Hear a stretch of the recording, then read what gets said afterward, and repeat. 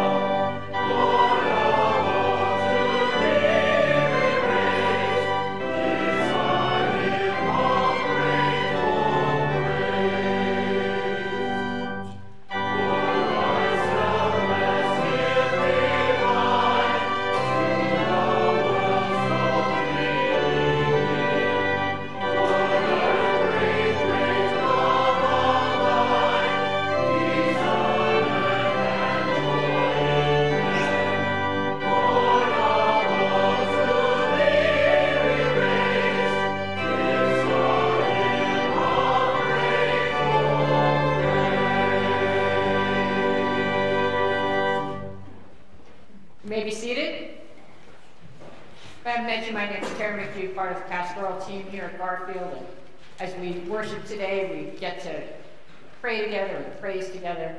And in just a moment, I'll give you an invitation if you have a, a joy or a prayer need that you'd like to share. Uh, our choir director, Craig McGuy, has a microphone. We just ask that you let us know your name and uh, how we can pray, how we can celebrate. We're keeping in prayer, um, all those suffering from the earthquakes and all the more than 28,000 lives have been lost in Syria and Turkey. I'll say a little bit more about how you can help in a tangible way with that, but we want to keep that uh, tragedy in our prayers. The batteries have died in the mic, so if you have a concern, please speak up. Okay. Yes, Tom. Good morning, my name is Tom Nagy. Um, I would like to ask for prayers for my friend Joe Quino, who is in a rehab facility recovering from a pretty serious fall. And, uh, he needs all the help he can get, so prayers would be, would be welcome. Thank you. Thank you. Prayers for Joe as he recovers from it.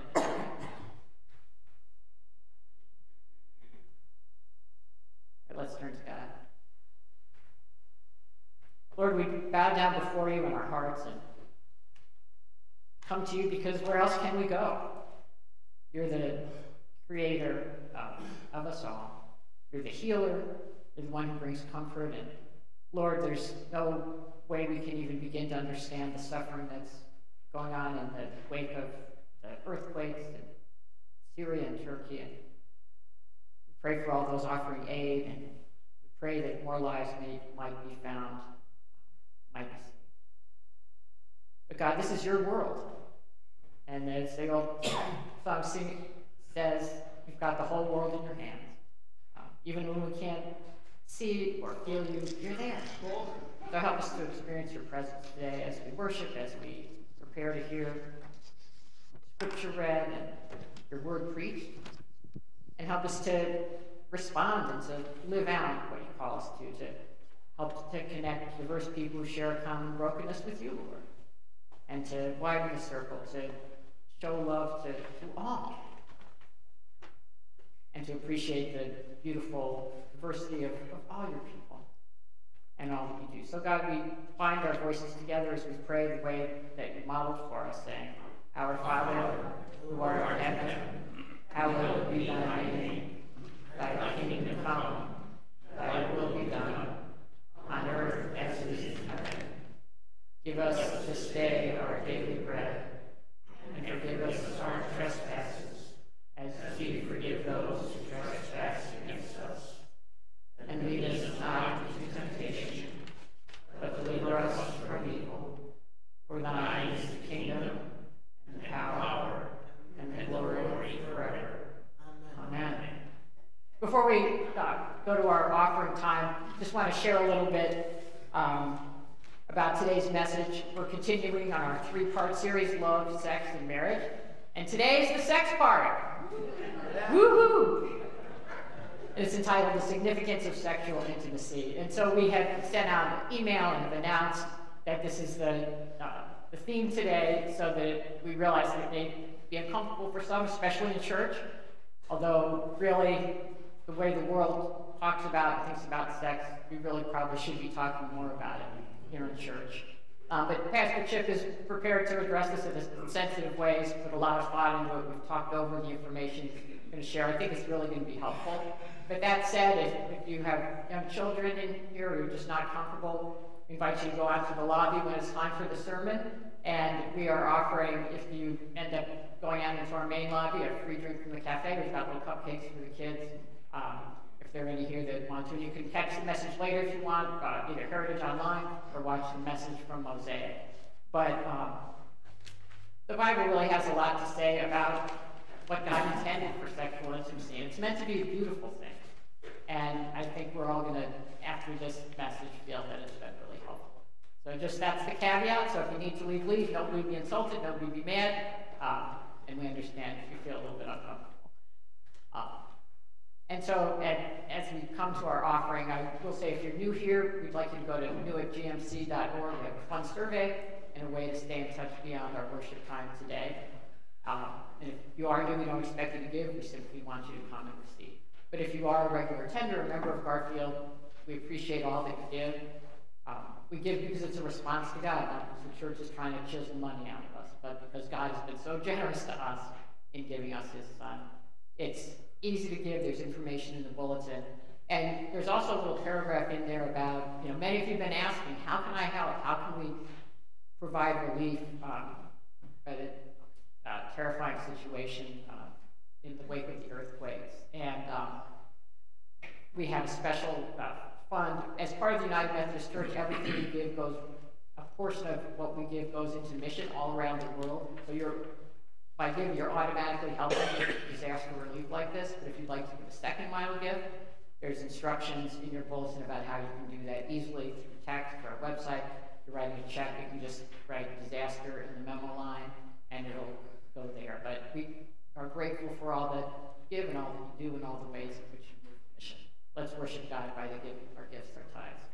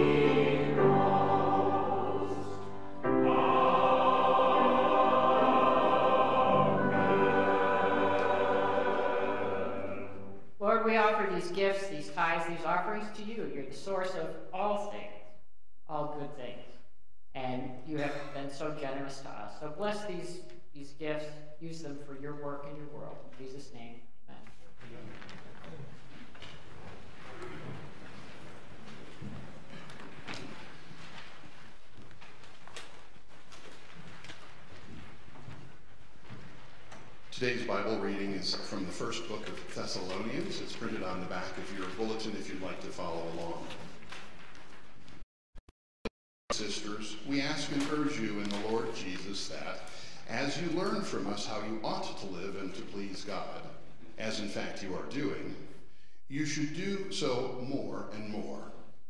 For you know what instructions we gave you through the Lord Jesus. For this is the will of God, your sanctification that you abstain from fornication, that each one of you knows how to control your own body in holiness and honor, not with lustful passion, like the Gentiles who do not know God, that no one wrongs or exploits a brother or sister in this matter, because the Lord is an avenger in all these things, just as we have already told you beforehand and solemnly warned you. For God did not call us to be impure, but to live a holy life.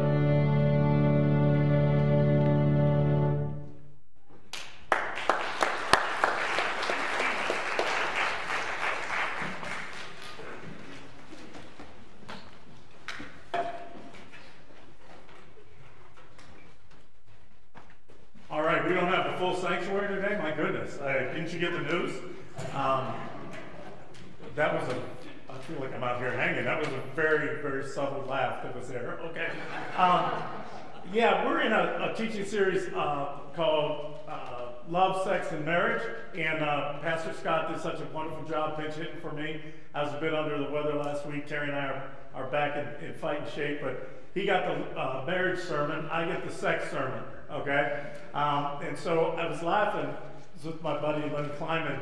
We were at Heinen's together yesterday, and she was making fun of me. and and uh, about this and saw all the disclaimers we were putting out to make sure. You notice I'm doing this in year 19 right? Uh, I actually did do something on this topic a few years ago, but didn't touch it my first 10 years. Somebody out there say coward. It's true, it's true, I am. Um, I laughed because I was at seminary, and this is way back, uh, you know, right in 1990, and they, there was somebody said, you know, don't preach about sex or money in your churches because it'll make people uncomfortable. And then I went to a family counseling class, and there was a, a, a series about what causes divorce. And the top two things that cause divorce, I mean, not even a close third sex and money. So they're basically telling preachers don't even speak about what's tearing apart families in this country. Don't, don't do that, you know. Um, and so it, it is a little awkward, but I was with Lyndon Heinen's, and she was making fun of me, and then she was out in the hallway, and she said, oh, I got the email, all this. She's out in the hallway, she came up to me, she said, look, I have to leave after the anthem, but, you know, it's not about what you're preaching. And I said, that's okay, Pastor Terry's going to get up and share. If you're uncomfortable, just leave. And she went, so I just said that so Lynn is covered. We got your covered. We know where you're at. I, um, I got three little funny things that happened on the way to this sermon. Uh, I, you know, I've been sharing, we've been sharing our series on our social media and other things. Scott has, Terry has, I have, the church has. And uh, so I got, a, I got an email from one of you uh, in this service, and I got uh, an email from a pastor I know who saw I was doing about. And then I had a comment from my wife. You notice she's not sitting here this morning. uh, but uh, the first one, somebody from this, this service emailed me and said that um, you'd gone down to a Cavs game with your son, and he, he and his wife, uh, his wife is pregnant, and his daughter-in-law, with their third child. And uh, they, I think they have a 10 year old daughter, uh, about a six or seven year old son, and now they're waiting the third one. And so we are going down to the Cavs game, and it was a member here, uh, his adult son, and their six or seven year old grandson. And in the car on the way down, the grandson said, Daddy, how do babies get in mommy's tummy? And you who emailed me were laughing, saying, My son handled this. And he started hemming and hawing and trying to come up with with uh, comments and illustrations. And finally, he said, his grandson said, Dad, you don't have to make stuff up. If you don't know how they get there either, it's fine. I love that. And a pastor friend said to me, he was he's uh, younger than me, but he follows me, and and he said uh, you know he has two daughters.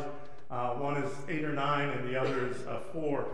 And he said his eight or nine year old had come home from school, and I guess they started to talk about sex for the first time. And he says, eight or nine year old walked up to him and said, Dad, I know how it happens. And he said, What? He said, I know how babies are created. And he said, Great, honey, you want to sit down and talk about it? She said, No, I just want to make sure you and mom never did that. and he said, Well, how do you think you got here? He said, Well, I hope you didn't do it more than twice. Love that. And today, when I early this morning, I was up drinking coffee, and Terry, you know, knows what I'm preaching about, and she said, um, "Honey, you know how sometimes I tell you you talk a little too much sometimes about our marriage and everything." I said, "Yes, honey." She said, "Today would be a really good day to remember that." So I, those are my three things, and, and it is a little awkward, right? It's a little awkward for us to talk about sexual intimacy, maybe more so in the church, and yet it's talked about everywhere else, right? You don't watch the Super Bowl today? Watch the ads, right? Then watch some TV shows. And even when our children were little, I know with mine, you could totally protect them from that. And, and they're getting innuendos and, and other things, commercials, billboards, magazines, internet ads, right? Marketing 101 says what? Sex sells. So, our, you know, our young people and others, our culture are going to be exposed to this. And when the church is afraid to talk about it, I think we're losing a very important witness. The, the Bible speaks a lot about sex and sexual intimacy. It's a beautiful ideal in the Bible of what sexual intimacy can and should be. And the church has an important voice. My wife just walked in in the back. I'm glad you were late. Um, the church has an important voice about beauty and sacredness of sex, and we have done a disservice, I think, not helping our culture know the deeper meanings of this gift from God. Okay?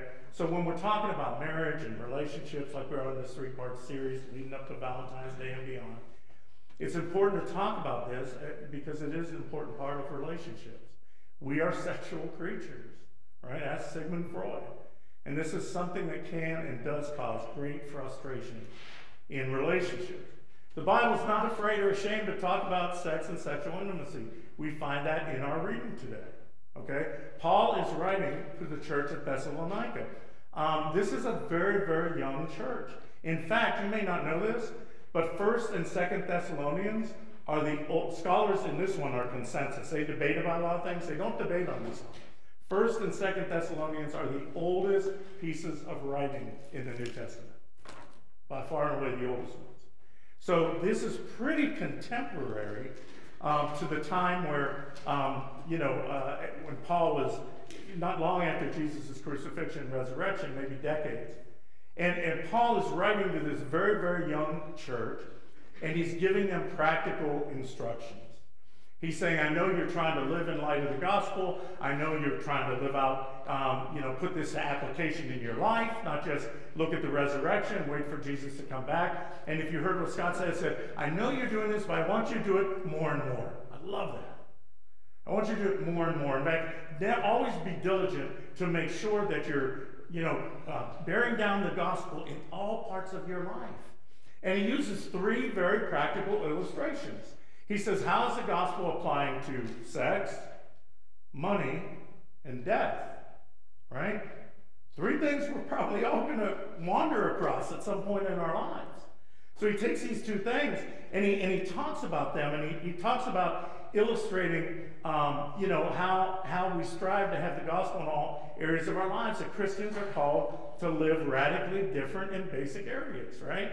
And, and uh, the Christian attitude, so let me just touch on those three, but I'm going to hone down on, on the issue of sexual intimacy. But when it comes to death, if you read Thessalonians, um, you know, Paul talks about that we go to death with confidence in Christ. And it's well recorded that the Greco Roman world that viewed the Christians, how they handled death, they, they were astonished by it. You know, one, one Christian bishop in the first century said, Our people die well because they would be dying in the Colosseum, right? Fed to the lions, executed by gladiators, and they would be singing hymns. And, and nobody had ever seen that before. And Paul is supporting that. And when it came to sex and money, there's one of the oldest pieces of Christian writing is it called a letter to uh, a Dionysius and it was um, a, a writing from the early Christians and instruction. It was preserved, they believe, from the second century. That's the 100s, if you if you're not thinking. It's a very early writing, and in it, the author they thought was Justin Martyr, but they know it probably isn't now. They're not sure who it was. But look at this statement. The statement says in this letter, "We share our table with all, but not our bed with all." Now that was abs- absolutely diametrically opposed to the Greco Roman culture. Because the Greco Roman culture shared their bed with all, but not their table with all. See, in that culture, it was, it was expected, especially in men, it was always a male dominated society, but men had sex with everybody. I mean, they had sex with women, they had sex with old men, they had practice in the gymnasiums, they would do horrible stuff in the in the pagan temples. They would have, it was required to have like a mistress, a concubine, and a, a female servant, that this was their job. I mean, they're having sex all over the place. And Christians come and say, no, there's a, there's a context for sex, and it's in marriage. And in the Greco Roman culture, they didn't share their table with anybody, they hoarded their money right? The, the, disparity of wealth started in the Roman Empire. They didn't share, but the, but the Christians were faithful in sexual intimacy and promiscuous with their money. They, they just spent it anywhere as anyone had need. Totally, totally an absolute different, radically different approach. Now, I want to say to you that the pagan approach in that context of sharing your sex with everybody and sharing your money with nobody destroyed that society.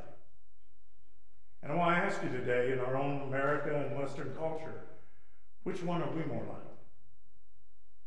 Sharing our, our table with all and sharing our bed with none, or, or not our bed with all, or sharing our bed with all, and hoarding and spending our money and our wealth only on ourselves. I won't give you the answer to what social scientists are saying about that. And if it destroyed that early society, it could destroy ours. So, what does the Bible say about the significance of sexual intimacy? Okay, I want to give you three big ideas. The first one is this there is a sacredness to sexual intimacy. And the ultimate picture of this is in creation, in the creation stories. Whether you take them literally or historically, whether you take them figuratively in a poem, we know it's a true story. You can't explain the human race without the stories of creation, right? And at the climax of the story, no pun intended, I know, I know that's going to happen through this whole message. Um, but at that pinnacle of, of the foundational story, it's a picture of what? It's a picture of sexual intimacy. As the two created ones, right? Do you read? Genesis 2, 24 and 25. It's the last two verses of the creation story. And it's a picture of sexual intimacy. The two cling to, are joined with one another. The two become one flesh. The Hebrew can be, interpreted united as one. And they were both naked and not ashamed. In fact, the Hebrew there can be translated, they felt no shame. And, and, and the, the God of the universe, the creator of the universe, is not ashamed to place this as the pinnacle of the human story. Because there's not something dirty or tawdry or something to snicker at when we talk about sexual intimacy. It's a gift from God. Now, unfortunately, the church has missed this point through the centuries. And they've created a sense that there is something dirty and we shouldn't talk about. There's been times in church history where churches went so far as to say you shouldn't even have sexual intimacy unless you're having a child, which is so far from the biblical witness. It, it's impossible. Um, and so we, we look at that, the sacredness in creation, and we also do look that, yes, sexual intimacy is part of procreation. Now, in case you missed what I said, sexual intimacy is not simply for bearing children, but it is the key component, something in our bodies God created that through sexual intimacy, right, uh, human beings are formed. And at that point, God invites us in, if you think about it, to be co creators with God. And all this points to the fact that it's holy and sacred and something very, very meaningful and beautiful. It's holy. So the sacredness of sexual intimacy, and the other piece is that sexual intimacy binds together. When, when they came together, Adam and Eve came together, they clung to one another. They became one flesh. They were capturing in physical form what was also supposed to be happening psychologically and emotionally and spiritually. When we give out rings at weddings, right, we put them on our thing and we say these rings are a physical outward and symbol of an inward and spiritual grace. And it's the same with sexual intimacy. The gift uh, that God has given us, what's happening physically, is a sign of what should be happening emotionally and spiritually. It's a larger picture of God's intention for us to nurture oneness and hold us together in marriage or in a covenant relationship. I yearn for you, you yearn for me, and this leads us to want to hold on to one another. And science proves what the Bible is saying here, actually, because uh, during sexual intimacy, two um, chemicals are released in the brain. And I got a physician up here up front, so I know he will love correcting me if I'm wrong. But I read this on the internet, so it has to be true. Um, the two chemicals that are released, one is called oxytocin, and the other vasopressin. And oxytocin, if you know, is a cuddle hormone. It's also released in women when they breastfeed because it's creating a, a link and a bond between the child and the mother. And in sexual intimacy, the same thing is happening. The same hormone is binding together, imprinting on one another, um, in fact, one medical journal says as oxytocin is released, it acts as emotional superglue between the two who are becoming one. Vasopressin also, it says, has a binding, linking hormone and also produces a sense of protectiveness. Okay? Here's what the journal says oxytocin is released, it acts as emotional superglue between partners. One way of thinking about this bond is to imagine these hormones are like, are like duct taping a couple's arms together. And after a breakup or after switching partners, that same duct tape is ripped off along with particles of skin and hair, reducing its stickiness and the ability to bond to a new partner. When I teach on this to youth, I usually get a piece of carpet and I take duct tape and I say, well, bond it here and I rip it off. And I say, no, we're going to bond it over here and I rip it off. No, we're going to bond it over here, and rip it off, and then I hold that duct tape and it's lost all of its stickiness. Right? And similarly, there's a research that suggests when stress hormones are released, as can happen after a breakup, then the ability of oxytocin to create bonding of the partners is reduced as the oxytocin oxytocin levels actually, uh, actually drop. Research also shows that oxytocin levels will increase to normal if sexual activity is stopped and time is given for emotional and physical healing after a breakup. Now imagine that the duct tape was never removed. The adhesion and thus the bondings of partners would remain strong. In monogamous and faithful relationships, for example, oxytocin and vasopressin biologically increase the bond. See, science is only, is only you know, underwriting what the Bible already told us, that sexual intimacy helps bind together. And the last thing is sexual intimacy reveals and makes known, right? If did you read uh, Genesis 4 1, it's throughout the Bible. Adam knew Eve and they bore a son. That word in the Hebrew is yada for know. You remember Seinfeld? Yada, yada, yada. You remember use that? What's that mean? I know, I know, I know. Right? But yada's deeper than that. It just doesn't mean I know, I know. It means to reveal. It means uh, to be wholly known. It means to understand, right? To see another person. Being naked before another is to reveal yourself whole or wholly to another. And again, it's just an image of revealing our most intimate parts of ourselves. Uh, maybe it might be physically, but it's representing again what's happening psychologically, emotionally, and spiritually. Right? Terry and I, uh, I, I, knew I was going to marry Terry two, the first two weeks I met her. She wasn't so sure, so I stopped her for a year. Um, but she remembers the times, we had not been physically intimate or anything, but she remembered the time where I bore my soul and I talked to her about my hurts and my relationship with my dad. And she said it was at those moments that I did that that she fell fully in love. It's not just seeing each other physically, but it's the act of seeing and having a deeper awareness for knowing one another. So here's the review biblically.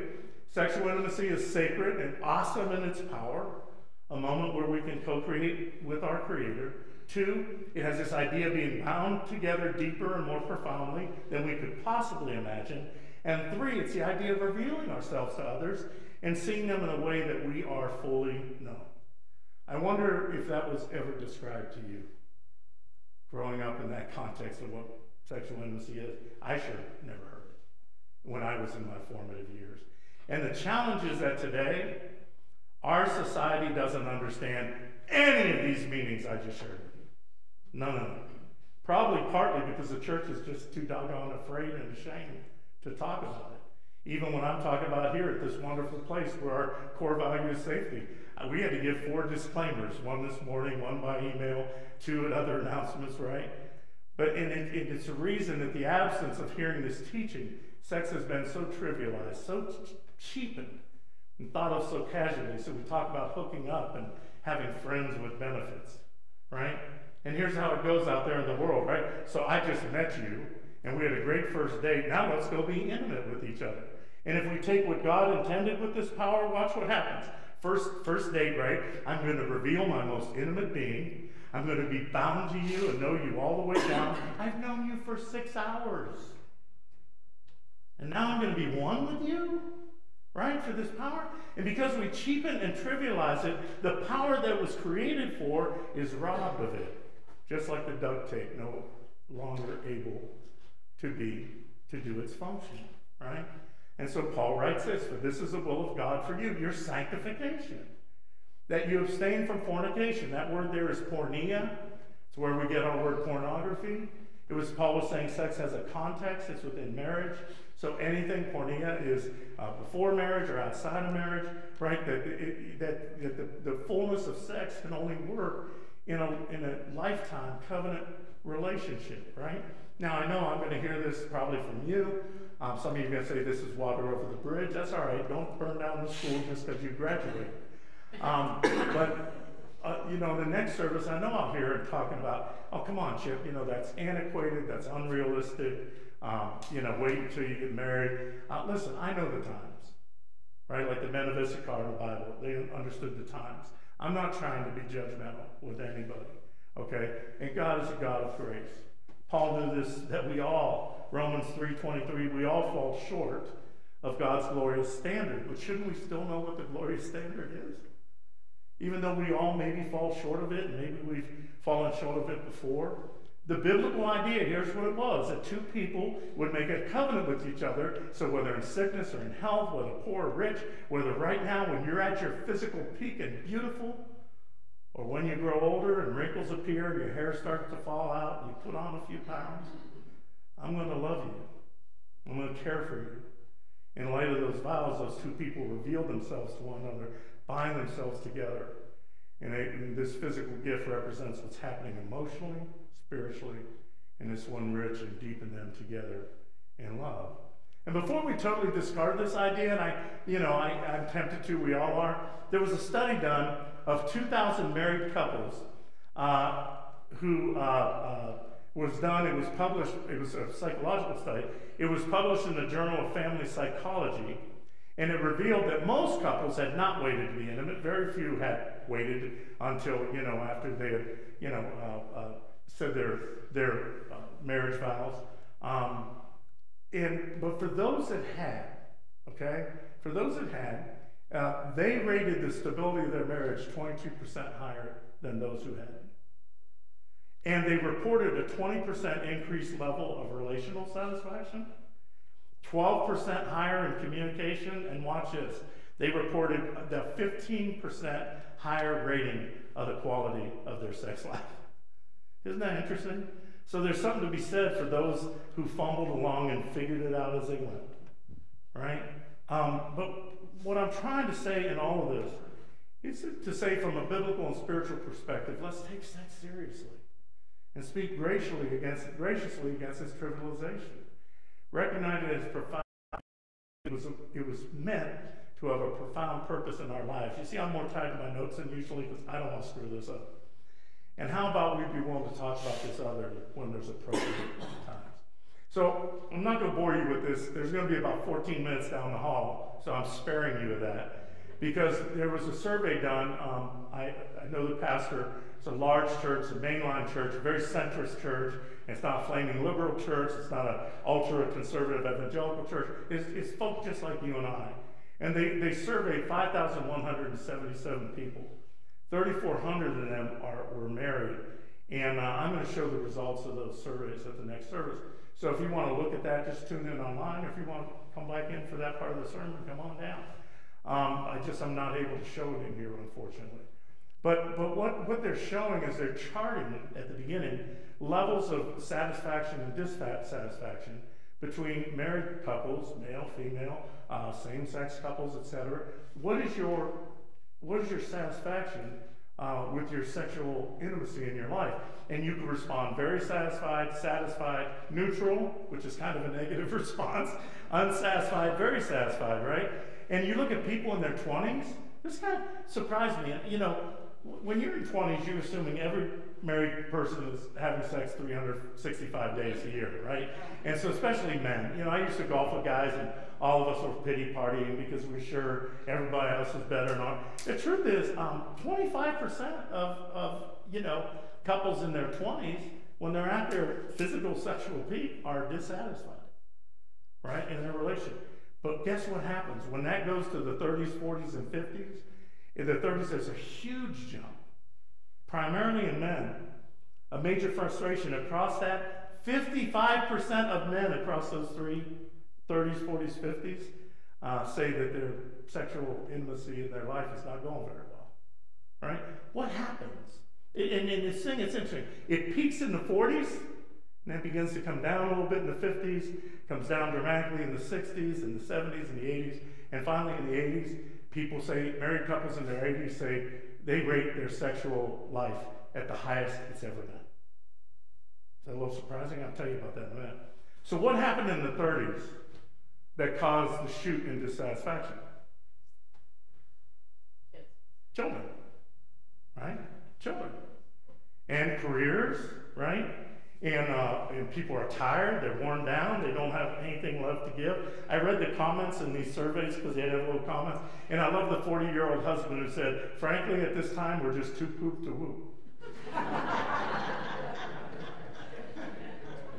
But you, if you look at that chart, it keeps getting better and better. And, and when sexual frustration is at its lowest level, is in the 80s, which corresponds to the increase in satisfaction.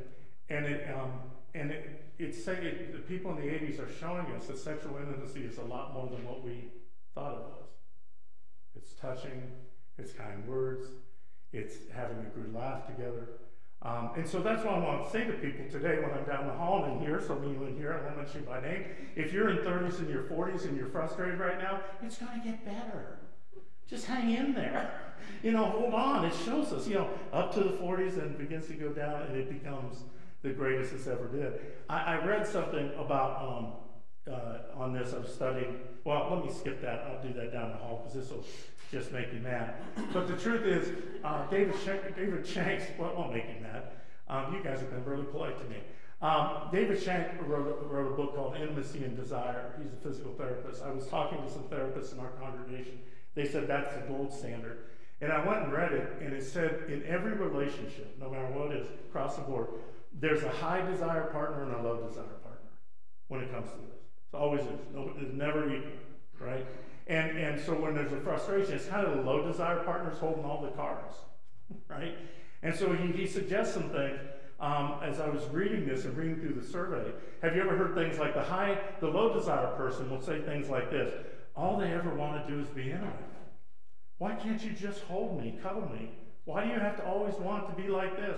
And the desire partner says things like this: "What? Don't you care about me? Is there something you're not interested in? Don't you love me? Am I not desirable? And thus this frustration goes on and on, and it's good to know that. Here's the things I want to tell people today. First, you're normal. if you if you ever gone through this or if you've gone through this, you're normal. It's not terminal. This is the way it is. And secondly, he says we need to learn the art of compromise. We need to learn to dance together. And so whoever's a high desire and low desire begin to communicate. And, and it's always a give and take because we understand it's an important part of our, of our relationship. And in marriage, we, we say, I want to bless you and encourage you and strengthen you and build you up. And then fourthly, we need to realize, and that, I love this one, it's not always going to be a wow. It's not always a 10. Sometimes it's a 1, and that's okay. One person said, and I'm so afraid to share this, but he said, think about the meals you eat. Is every meal going to be a five course gourmet meal? what does it take to have a five course gourmet meal at home? Think of the menu. You have to go to the store, think of the menu, go to the store, buy the special ingredients, then take a couple hours to put it all together. Are you following the metaphor? Right? Um, but sometimes, every once in a while, you might have a five course meal, but uh, you're also going to eat a lot of peanut butter and jelly sandwiches along the way. Why do I feel like you guys are just leaving me hanging here right now? I don't know. Uh, it's okay. You can live on peanut butter and jelly sandwich, and once in a while you have a gourmet meal. Um, I wish somebody would have told me that 40 years ago. That every time you know we get together, it doesn't have to be a gourmet meal. It's okay to have a peanut butter and jelly sandwich. Peanut butter and jelly sandwich is quick. It's fast. I wish I didn't say that. It's nutritious. It's nutritious. But that's how it's worked. So it's okay to have one. Lord have mercy. I'm sorry, honey. I'm doing the best I can. She's just shaking her head. All right. But this is something we work at together. Okay, I'm going to show the slides for each of the generations. Um, but here's something we learned in the surveys, which is really interesting to me. The frequency of couples, let's say, were experiencing sexual intimacy at least twice a week. They, do you know, I'm using that as a baseline from ages 19 to 59. Here's what we found out in those series from church folk 71% of those folk go on a date at least once a month. 71%. Very high percentage versus those who didn't date once a month. Second thing, 80% of them attend worship weekly. So I don't know what that means. I was chicken and egg. But there's some correlation between spiritual intimacy and physical intimacy is the way God created it. Thirdly, 57% of those spend more than 30 minutes a day in conversation. That's 210 minutes a week. Do you know that was double or triple the rate of people less intimate in their physical life, right? So, so again, there's correlation between conversation and friendship and this physical activity. And last thing, couples who said they prayed together daily were twice as likely to have more sexual intimacy than everyone else. It, it's just, I don't know what to do with all that. I'm not a psychologist. We have some here who are trained in that, but I, I am a theologian. and there's something saying that God gave us this gift. And it's a gift that is to imitate also the way God seeks to be in relationship with us. What, what did Jesus say? I am the bridegroom, adorned for a bride. If you read the Hebrew scriptures, what we call the Old Testament, every people, every time people wandered from God, you know what God accused them of? Adultery. You've fallen in love. You're intimate with other things instead of me. So we need to talk about these things, okay? Uh, Helen Gurley Brown, I read, saw, I, I read an interview with her years ago. She was 73 years old at the time. Anybody know who uh, Helen Gurley Brown is? Yeah, Cosmopolitan. You guys, boy, a lot of hands up here. I can't wait to ask him at the next service. I'll say, Cosmo, what? Um, but, you know, editor Cosmo, and she said the interview this. She said, I've always said the, the three best things in life, one is sex. And the interviewer said, what? And she said, who knows? That's what she said, 73. And the, the interviewer said, what about love? I read this, and here's what she said. Love is impossible to define and even more possible to have. It's too difficult. That's the world's understanding about sex and sexual intimacy, about divorce from love. Uh, and if you read Cosmopolitan, I don't mean if you read it, if you just look at Cosmopolitan, and any of the magazines have basically been inspired, there you have it. Right? And nobody looks like that, by the way. I'll be honest with you, don't. I, you know, stumble up on their house when they haven't been with their personal trainer or their personal chef, and there's no makeup and there's no hair artist. The people don't even look like that. Nobody does. But we pretend because we're, we're putting a mask on our own insecurity. But I want you to know there is true love this Valentine's Day. Greater has love has no one than this, Jesus says. I'm the bridegroom adorned for the bride. And we will see, and when we see the significance of, of, of of uh, sexual intimacy as a gift is to view our love for one another in lifelong, intimate, and covenant relationships, and even taking it to the highest spiritual level to nourish our, our relationship with God. Let me close with this. Um, I loved a comment from one woman in these surveys, one just like us. Um, I think they were, were just about to turn 70, but her and her spouse were unable to have physical sexual intimacy due to physical complications. Um, she wrote this Though health issues make this impossible for us now, there are still many ways for us to physically express our love. Many, many hugs and kisses, loving looks to each other, and we flirt with each other all the time. We fell deeply in love without physical sex prior to marriage, and we know that while it's a joyous part of a marriage, it's not the only measure of deep love. We are still diving deeper every day, and we've yet to reach the bottom of the sea. I love that. So I think what God intends for us um, in this great gift is it's meant to help us bless one another. It's not the only thing, and it's not what we've been taught to think. It's tender touch, it's romantic conversations, it's laughing together, it's building friendship, and these things will help us to build a love that'll last a lifetime. And that's what I want to talk about next week. Okay, everybody ready? Exhale. Let's pray. Lord God, we thank you for helping us understand all of the intricacies of life of relationships. Lord, uh, shame on us when we try to trivialize or make dirty or snicker about things in your word that are gifts for our lives. Help us, um, Lord, uh, to extend our table to all, but not our bed to all. Help us to be the reverse society. Help us understand that how we live and, and grow more and more is a witness against the ways that uh, things have been trivialized. And Lord, help us to hear you so that we can build a love that lasts a lifetime with you, first and foremost, with those who are closest to us, and frankly, with all others as we seek to love the way you have loved us. In Jesus' name, amen.